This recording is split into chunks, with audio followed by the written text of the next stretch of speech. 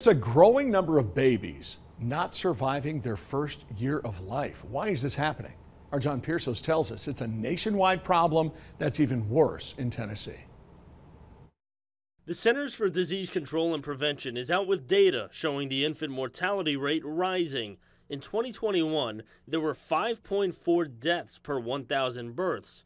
Last year, that number jumped to 5.6 the first rise in 20 years. Tennessee is above the national average, with 6.2 deaths in 2021 and 6.6 in 2022. It's a complex issue. Amber Ford with the Knox County Public Health Department says Tennessee has higher instances of chronic health, diseases related to obesity and smoking, which can impact an infant's health.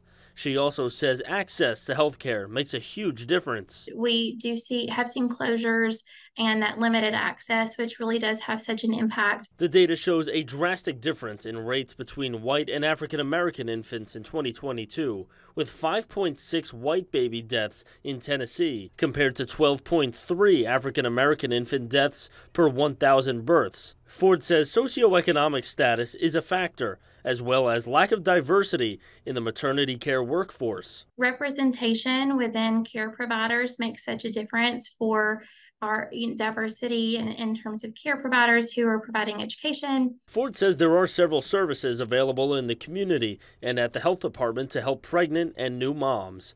In Knoxville, John Piersos, WVLT News. Will this keep going? Ford says it's too early to figure out if the rising numbers are a trend that will keep going. Healthcare workers are going to monitor this closely moving forward.